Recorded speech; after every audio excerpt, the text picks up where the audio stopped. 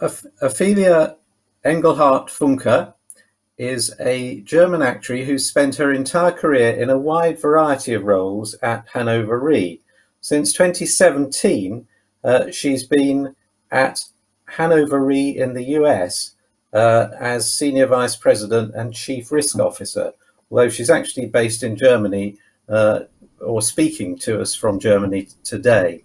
Uh, Ophelia um, spent uh, many years at university uh, before um, uh, becoming an actuary and has a doctorate in stochastic optimization from the Technical University of Clausthal. I hope that's the right pronunciation pronunciation in Germany.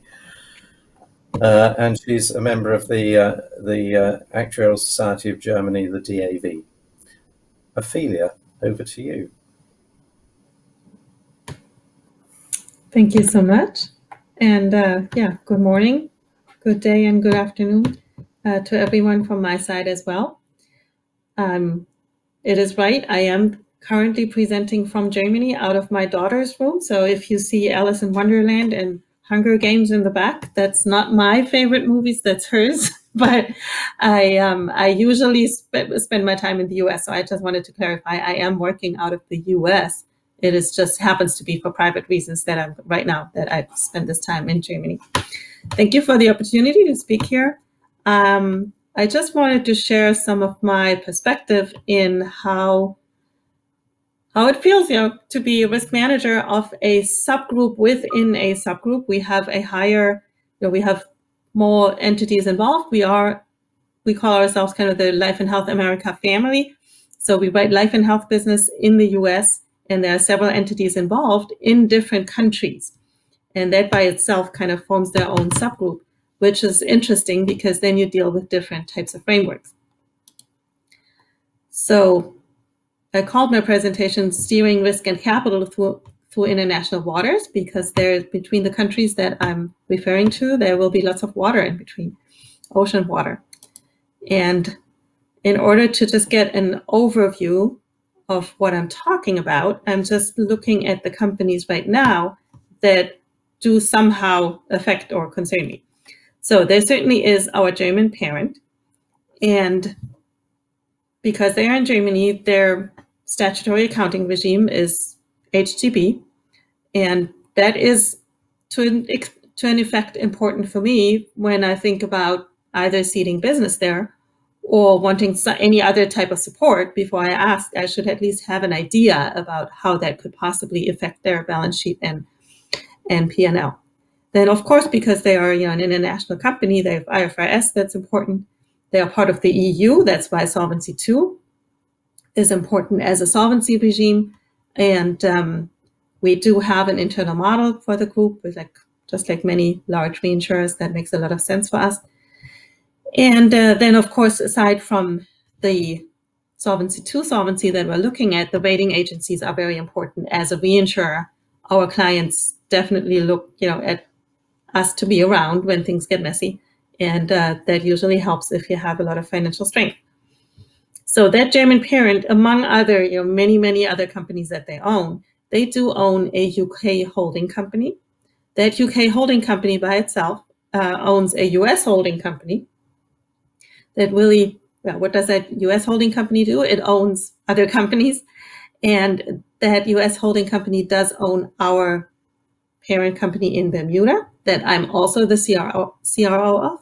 So there's a life and health company in Bermuda that has chosen, and you can do that in Bermuda, and that will become important later.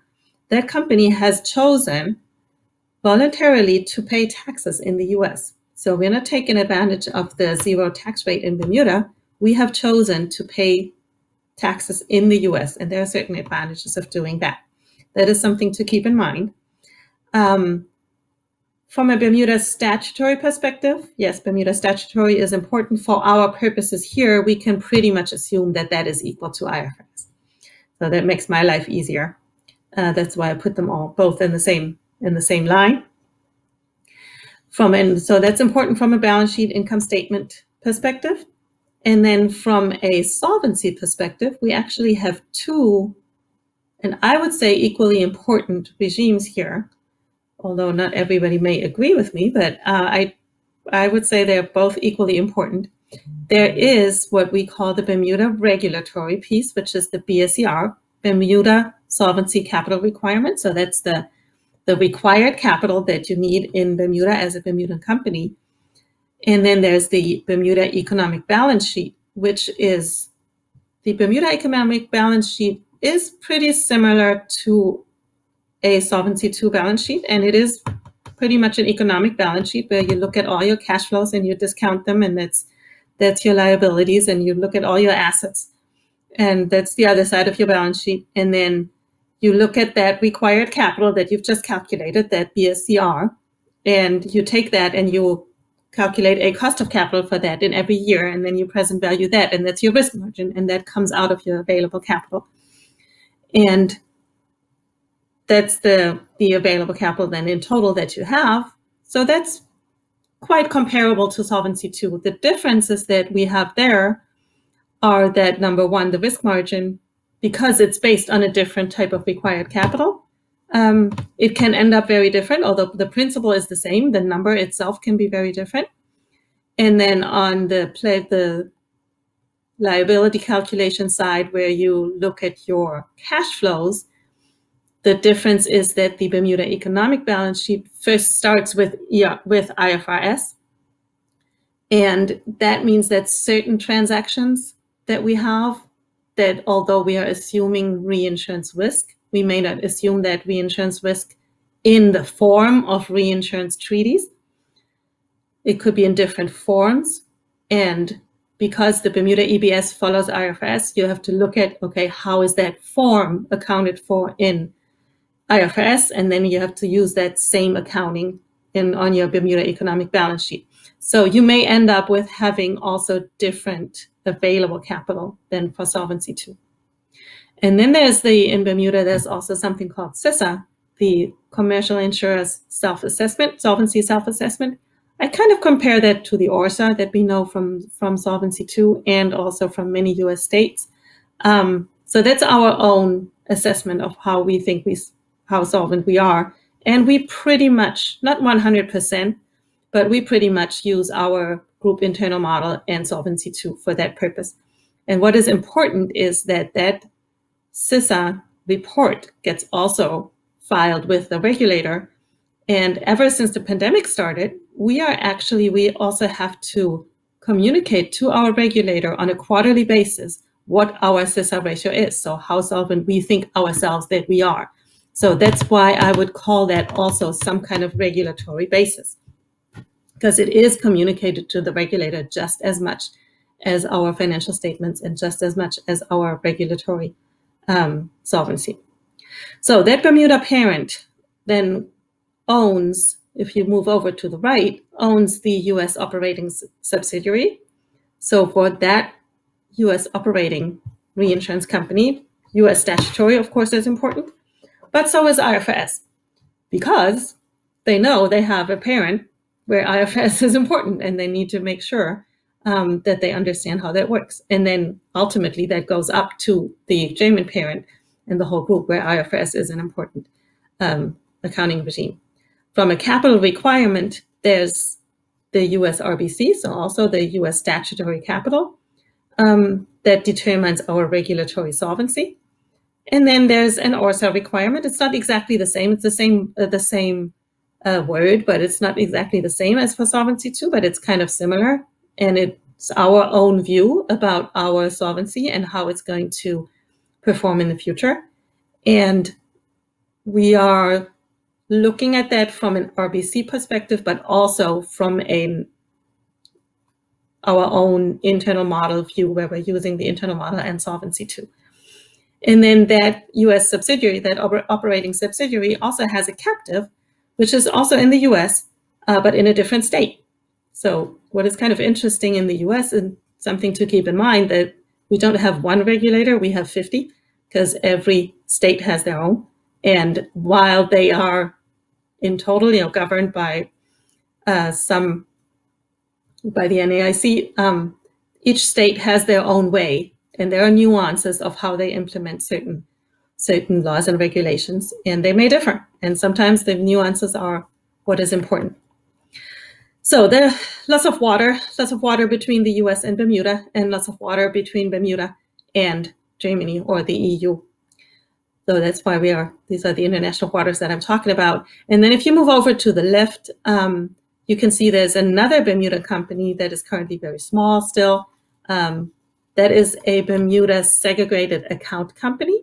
So it's still a life and health company with a life and health insurance license in Bermuda, but it is kind of a different license than the Bermuda parent. And it is a company that operates different segregated accounts under one license and then has different transactions walled off from each other in those segregated accounts, kind of like protected cells, very similar concept.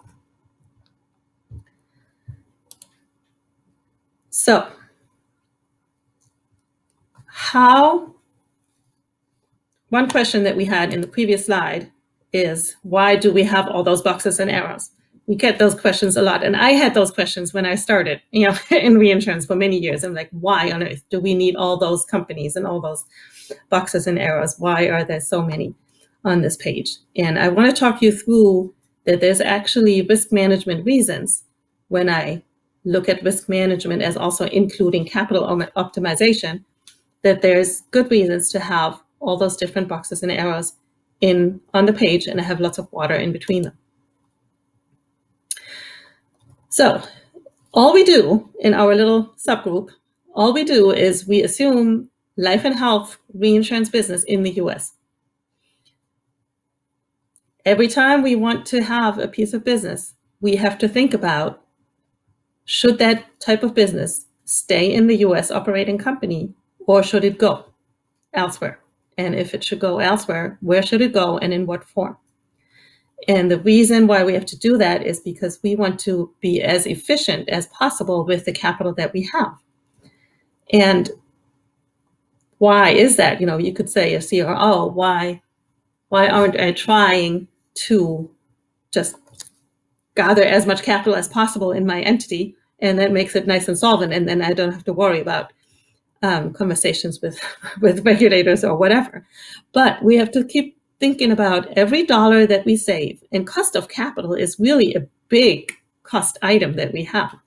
Every dollar that we have, we can either keep it in the entity and finance further growth, we can dividend it out to our shareholders and make them happy, or we can pass it on to clients and they can then either do the same two things as above, or they will also pass part of it on to their customers. And that makes products more, more affordable.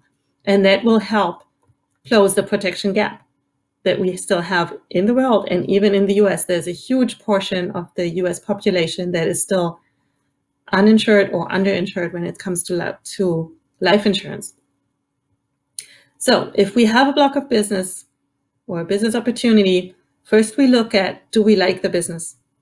And that should be independent of the form that we assume it. It should be independent of a specific regulatory regime. It should be independent of a specific accounting regime. It should be purely our own economic view from a group perspective. So we really only use our internal model that should show our economic view and we don't look at, we look at the risk only, regardless of the form, it's substance only. And then economically, that tells us, okay, we like the business. That means, okay, we would like to assume this risk into our group, our reinsurance group. And only after that comes the question, where is the best place to actually put it? So the question, should it stay or should it go? That's where all of a sudden form matters. Some of the business that we would like to assume comes in a certain form that our US operating license doesn't even allow us to take. But in different countries, the license requirements are different. So maybe it can go to, in, to the, our Bermuda parent. That is usually the, the first place where we go. And it may be from our client side, they may not be as agnostic as we are to the form in which they see the risk, as we are agnostic to the form in which we assume risk, they may want a certain form because they that allows them to achieve whatever they want. But in many times, whatever you can do with a stop loss reinsurance agreement, you can also do via structuring certain notes. You can do also do via structuring swaps. Plus, there are many other forms where you can do pretty much the same thing as what a reinsurance stop loss can do. But not all of them can be kept in the US. So some of it can't even touch the US simply because of licensing requirements. What is clearly you know, welcome and starts entering the group from the US will be anything that is written in pure reinsurance form. And then we have to look at, okay, once it's a reinsurance treaty, if it enters via the US, we have to look at, is there any type of US statutory strain from the accounting regime?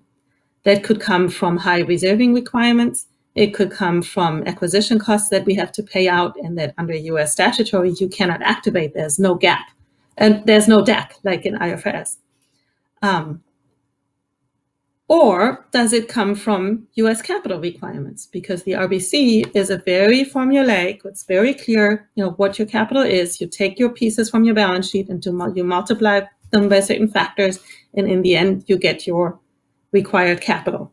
And that may be adequate for certain types of business, and it may not be adequate for other types of business, which is why certain types of business are better off in a different environment. So the different requirements from US statutory, we have to compare those with the same requirements for the same business, but in Bermuda. So what is the capital requirement there? from a CISSA versus a BSCR perspective. What is the reserving requirement there? Economic balance sheet means best estimate. Capital requirement means, means, means risk margin. Or we have to look at Germany, or maybe even other countries. We usually don't go that far, but there may be reasons in, uh, in different times. So the economic balance sheet, Solvency II, IFRS, HGB even, and then the Bermuda BSCR, all those have to be considered and see which entity is the best one to be a home for the business. In the end, once we have looked at all this analysis, you can come up, and that's what we do in risk management. We come up with certain guardrails, and it's most of the times you can say that the shorter term business is more likely to stay in the US. Shorter term, not so much life, more health business. Shorter term and health business usually stays in the US and is efficient there. Um, Whereas longer term life business and not business in non-traditional forms would usually go to a different country, usually to Bermuda. That's how the, that's kind of the result of what we've been seeing over time. If we put a little bit of theory around this, the question can come up of, you know, why doesn't everything economically, why doesn't go everything go to the parent, to Germany? They have the biggest balance sheet. They have the business from all over the world. They have, you know, the best diversified uh, portfolio that you can think of as an international international reinsurer. So theoretically, from a Solvency II perspective, everything should go to Germany. Um, because that gives us the best diversification, which means from a legal entity perspective, the lowest capital requirement. And from that, that means the lowest cost of capital, the lowest risk margin. So we also have higher available capital if we ceded everything there. So why don't we do that? You know, why do we still have all those boxes and arrows on the page? Well, there are lots of buts. You know, yes, I would like to cede all of my business to Germany, but why can't I do this? Well, when it comes in via the US, uh, in 2017, actually, by year end 2017, uh, the US implemented this so-called BEAT. So what does the anti-abuse tax was the, I forgot actually what the acronym stands for. It's a penalty tax for anything that you assume in the US and then cede out to a, an affiliate entity, for example, to your German parent. So and it's it can be huge and it's not based on profits it's really based on from a reinsurance perspective we could say premiums that you're ceding up. well so in the end if we did if we simply assumed business in the us and ceded it to germany or to any other affiliate in a non-us taxpaying environment we would have giant um, penalty taxes that we have to pay much more than we have profit so anything sizable that has a sizable premium volume cannot be ceded to outside the US tax environment. So that's one reason why we don't do a lot of retrocession. Then there are collateral requirements. So yes, it is very nice the fact that the US and the EU have signed the covered agreement, which legally would get rid of any, any required collateral other than what the two legal entities um, that are part of a transactions other, transaction other than what they would agree to among themselves, but there would be no regulatory requirement for collateral. And they've done that, I think, also in 2017 or 18. But that doesn't really mean a lot yet because the different US states first have to implement the covered agreement such that it's actually valid for the business that we could possibly see. So right now, well, as of today, no more, but as of yesterday, um, we would still have, to, despite the covered agreement, we would still have collateral requirements if we ceded business from the US to Germany, simply because Florida still needs to do the exact implementation. Um, then there is from a financial statement, there's the German GAAP, the HGB, which kind of works similar, or I keep it in my mind. I try to keep things simple. I'd say it's similar to how US statutory works in the sense of that there are high reserving requirements. There's no DAC to activate acquisition costs. So business that would not be well housed in the US because of statutory strain can usually be considered to also have that same effect on German GAAP. So it's not well housed in Germany either. And then, well, you know, business would be easy if it wasn't for the clients, but you have to think about that our clients are US companies and they have certain preferences on you know, which legal entity they want to face. And that's well understandable. So lots of buts. And in the end, we only concede small types small volumes, let's put it that way, small volumes of business to Germany if we wanted to. So then instead, let's look at that US tax-paying parent in Bermuda. That is really our main go-to place. And now we understand why that parent company has elected to pay taxes in the US. Although they could have, you know, being a Bermudan company, they could have taken advantage of the low tax, uh, tax rate in Bermuda. Um, that's to avoid that beat that um, base erosion and anti-abuse tax. Now I'm, it's coming back. So they are, we want to avoid that penalty that we will have to pay if our business went to affiliates that are outside the US tax environment. So although it's in a different country, it is still within the same tax jurisdiction, the business that goes there.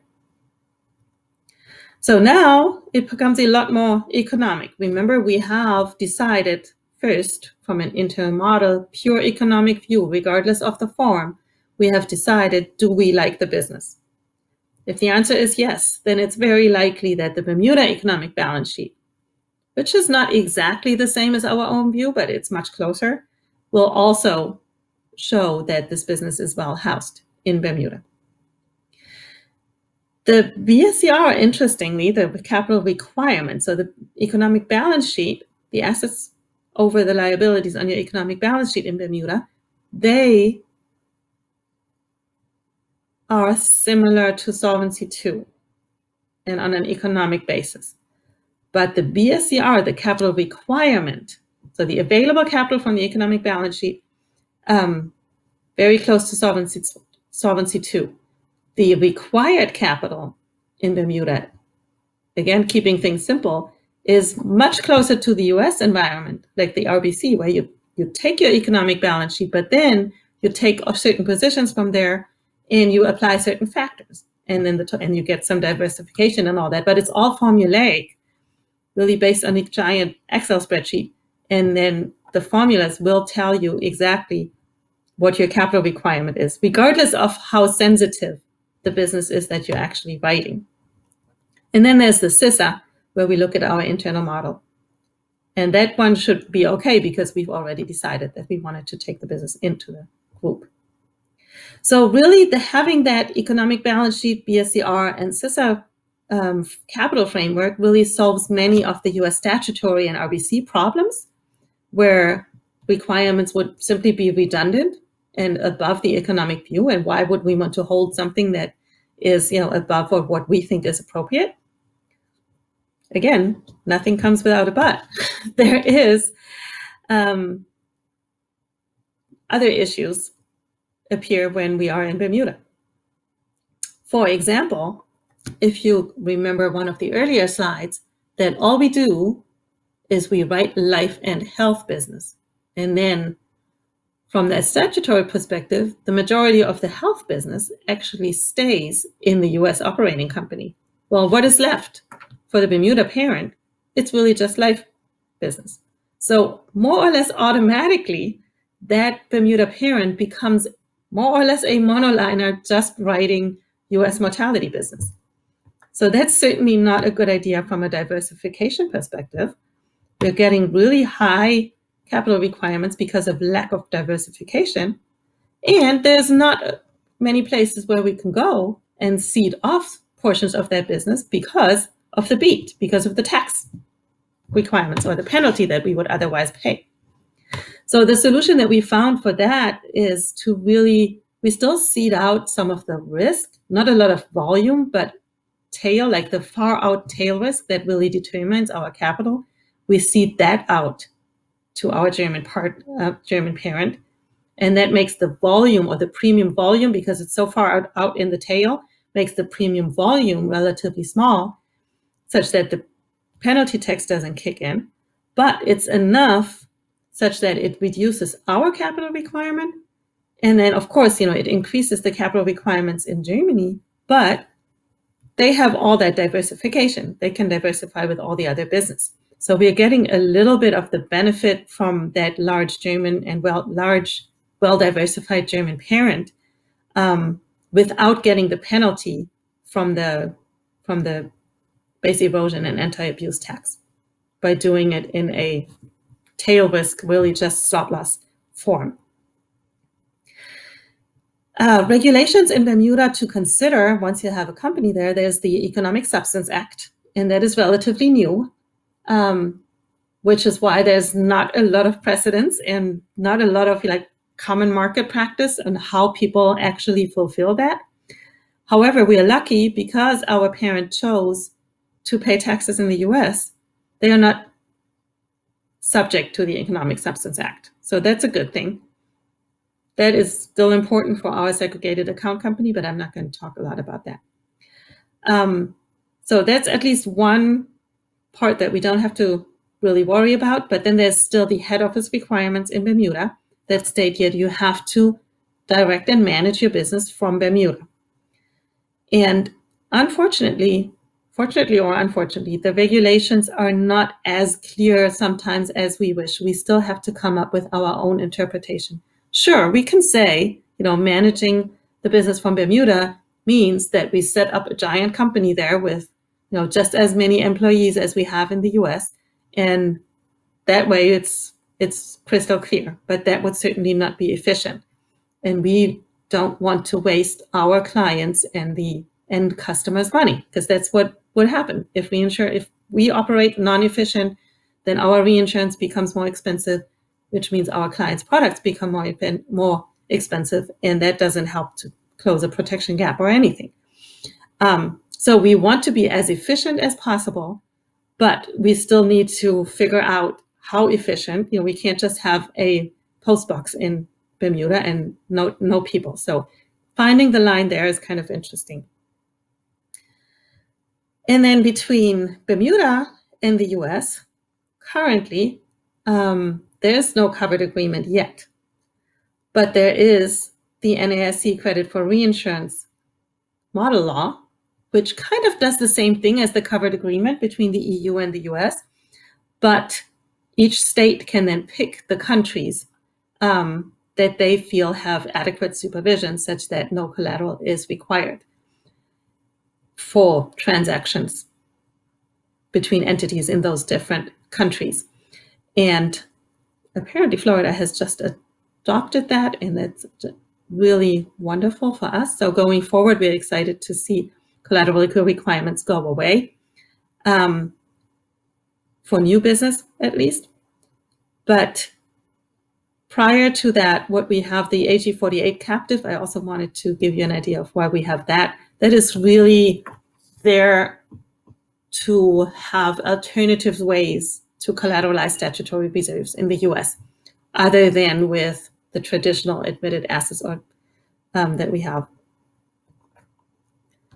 So if we think about, you know, here's a picture again of the, the boxes and arrows and why each one of them is on the, on the page. So starting in the right down corner, the AG48 captive allows us to collateralize statutory reserve, US statutory reserves, independent of anyone's rating.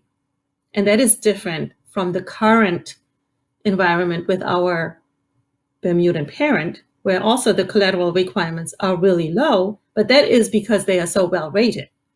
And while we expect them to remain well rated and all that, there's no guarantee that that's going to be the, the case. So if their rating were to drop currently, then our collateral requirements will go up.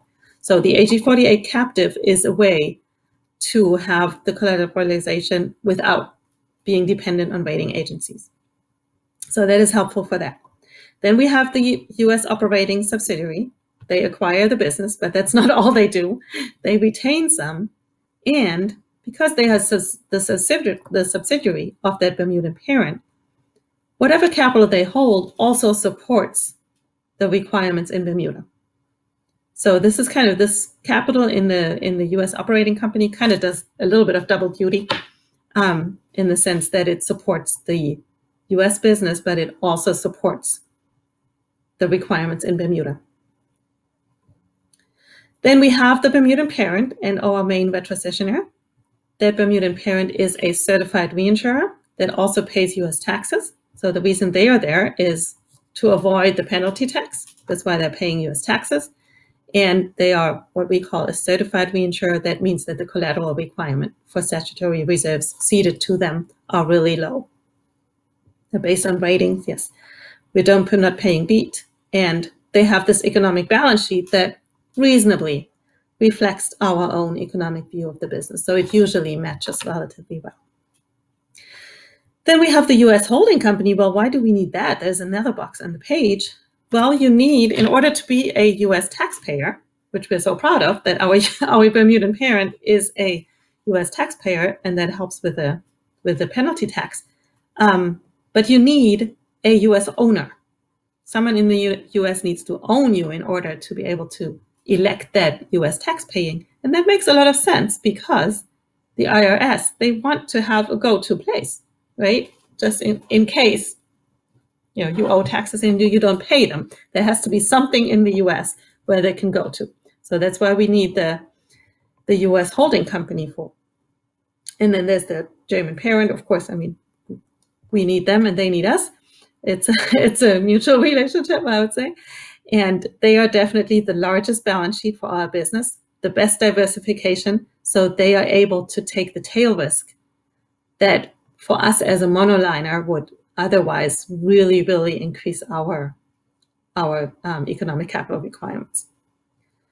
And then there's the, on the left side, I just want to really touch really quickly on that. There's the Bermuda Segregated Account Company. This is really there for business that we want to intentionally wall off in segregated accounts or protected cells. It's kind of this, the same thing. And then use other investors' money to back the capital there rather than our own. So there could be, if you think about, you know, what how large the industry's balance sheets are compared to a reinsurer, regardless of how big a reinsurer that is.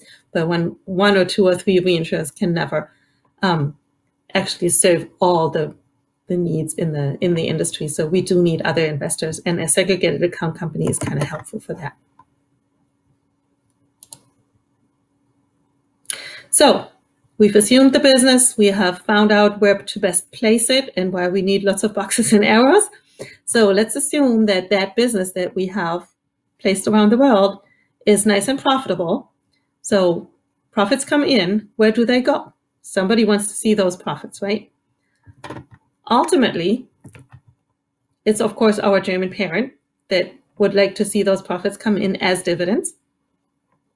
And that way, in order to receive them as dividends in a current year, they have to submit it prior to an HGB cutoff date. So prior to a certain date, we have to declare and pay our dividend.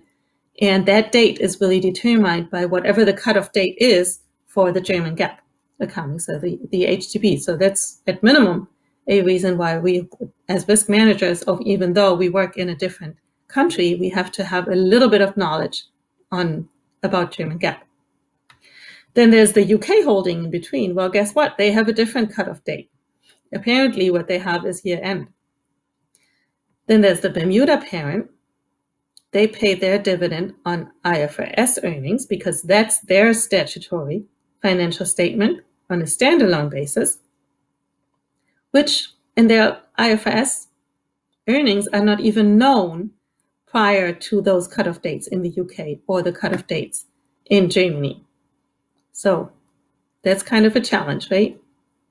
Then we have the US operating subsidiary and the AG48 captive. They also make their profits and they are happy to and would like to pass them on as dividends. But it's a different accounting regime.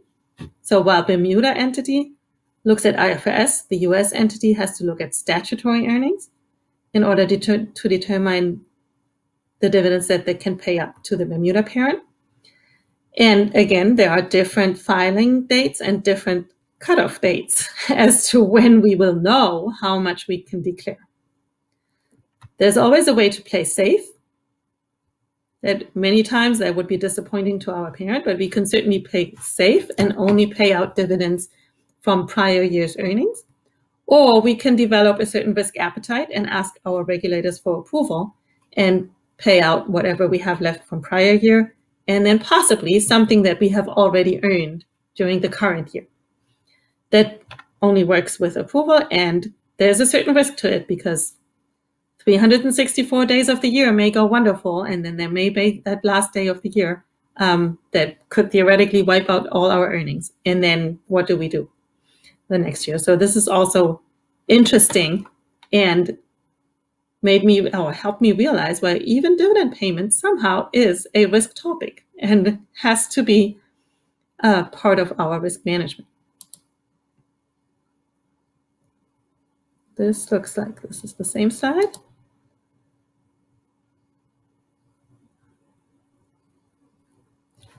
so now we've looked at earnings we have looked at cutoff dates and how much we can who can pass on how much to each parenting entity or each upstream entity, um, we also have to look at other metrics just beyond profits. Just because we have profits does in our relevant accounting regime doesn't mean we can pay it out.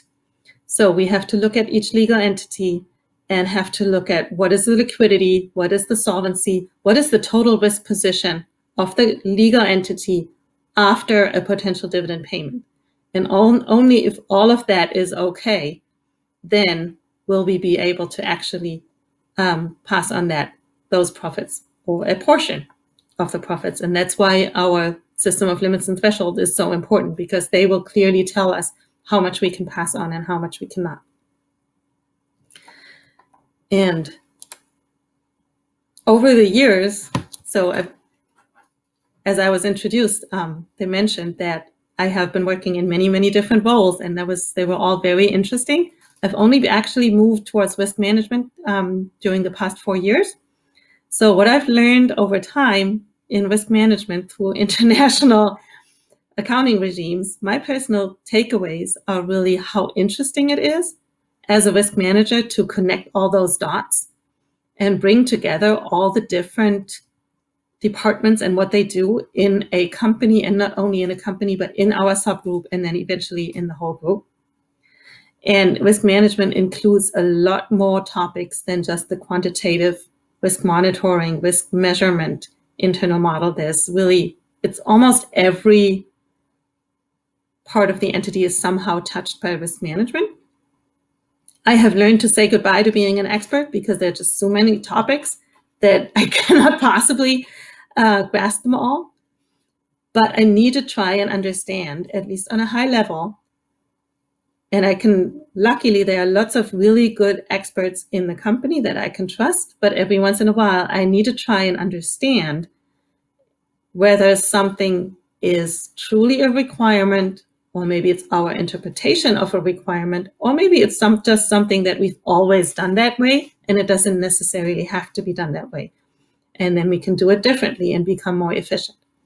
And that just means, and I think that's kind of a nice segue maybe into the next um, presentation, which is mostly about risk communication, that I realized how much more time than I originally thought I have to allocate to listening and trying to understand the different experts in uh, within the group, and also then to whatever I understood to be able to explain that to the next one who is, you know, waiting for the dividend and doesn't understand why I can't make a clear, clear commitment yet, and all these different topics. So allocating a lot of time to listening and explaining has become a big part of the job in risk management, and that's why it's fun and interesting and exciting. And with that, I would like to thank you for your attention and see if you have any questions. Well, thank you very much, Ophelia. That was very interesting and also very clearly explained. Um, uh, very, uh, very good. Um, now, I, I don't, uh, I don't currently see any questions on uh, Slido. It's maybe because I haven't updated it or something. But I was going to ask you a question. Uh, I mean, I guess with the move towards international capital standards, do you think that some of these opportunities to optimize capital management will disappear, or do you think there will always be uh, these kinds of uh, these kinds of opportunities?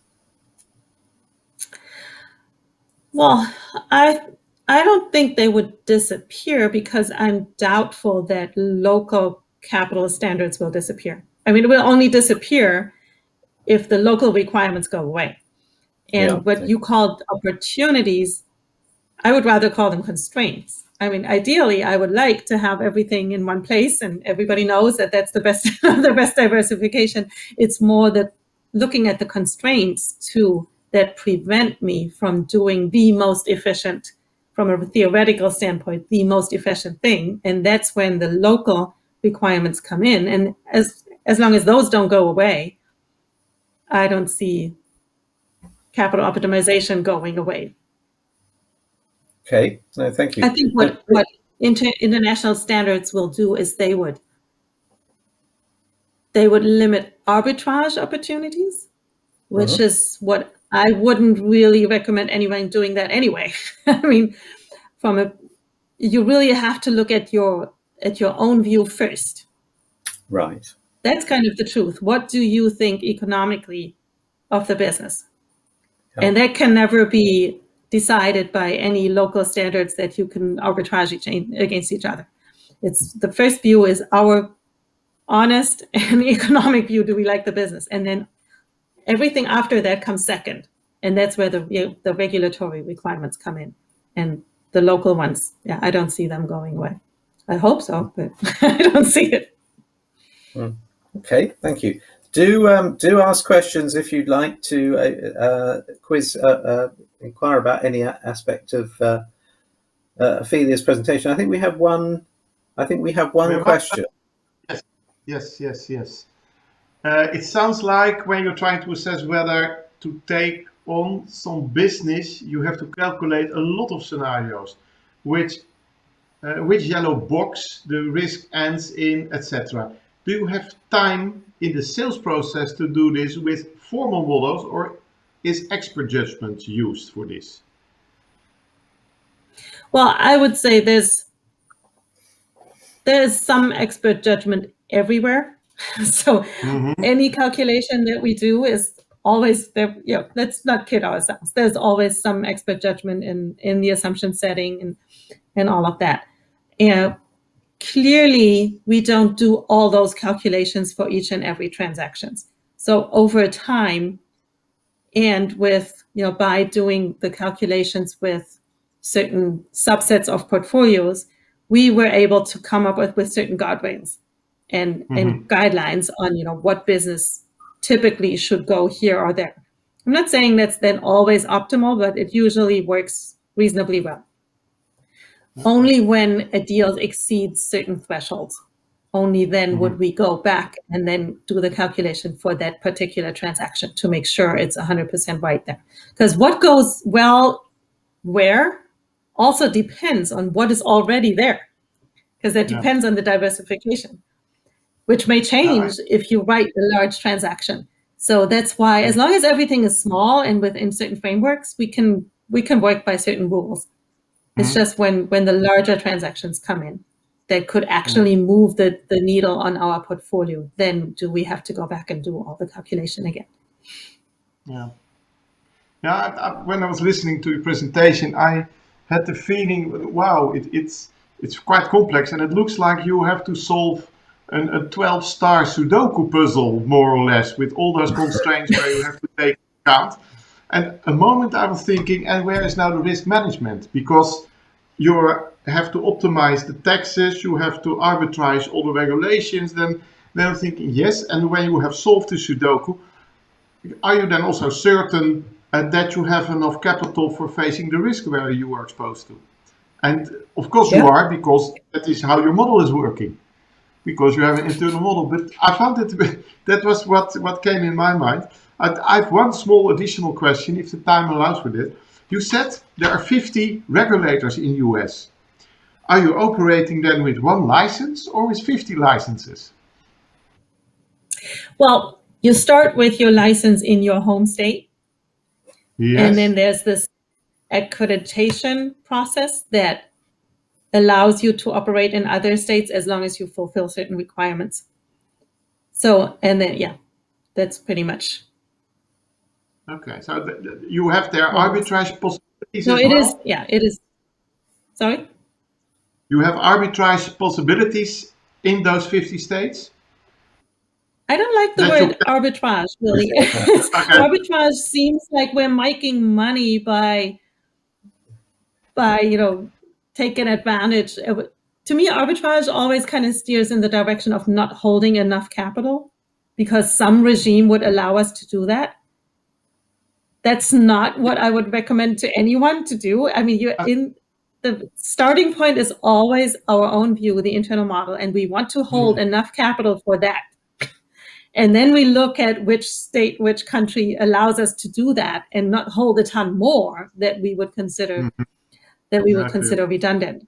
So that's why I'm kind of half allergic to the word arbitrage because it's it, it's not what I would rec- recommend doing. It's um, that can't help. yeah. So really, Thank when you. it comes to different states, when it comes to different states and how exactly they implement certain laws, it's really the it's very small nuances that sometimes make a big difference. So one of them it's kind of interesting. If I've, I've mentioned collateral requirements. Mm-hmm. So while when you're in the US, from one state to the next, you don't have a requirement to keep like collateral in one state when you cede the business out as long as it stays in the US. Okay, so those requirements uh, only kick in once you go to a different country. However, um, some states have implemented the credit for reinsurance law in a way such that if the cedent, so if our client, not us as a reinsurer, mm-hmm. but if the cedent gets into financial difficulties, then all of a sudden the reinsurer, who is in perfect financial shape, you know, and is absolutely in a position to pay claims at all times when they're due, but then all of a sudden, because the cedent is in trouble, the reinsurer has to post collateral. And okay. that's like wait a minute, you know, so that could be, it's very small and you really have to read the fine print. But then we have to get into, well, do we even want to write business and with who do we want to write business in the state. If that's the case, then we have to look a lot closer to the financial stability of our client. Although it's us paying the claims, but we have to make sure that they're not yeah. in trouble because otherwise we have to post collateral. So it's like it's these small nuances more that um, could make a difference. Yeah. But the general framework is the same or very similar. Okay, thank you. Very good. Well, thank you, Ophelia. I, I think we're pretty much out of time. Um, uh, so thank you for your uh, excellent presentation and for uh, defending your corner uh, uh, well in the uh, Q&A.